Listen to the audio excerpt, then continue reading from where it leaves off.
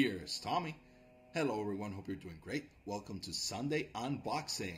Today I'm gonna be unboxing the Brydge 12.9 Max. This a keyboard for the iPad. Is a full keyboard with a full, way bigger than a full mouse.